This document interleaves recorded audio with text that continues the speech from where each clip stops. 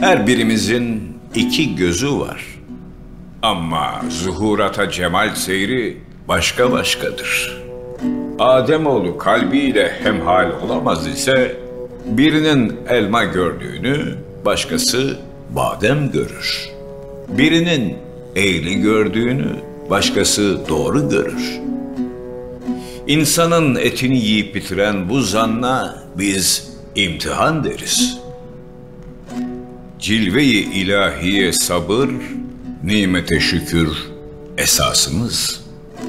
Agah olasınız canparem.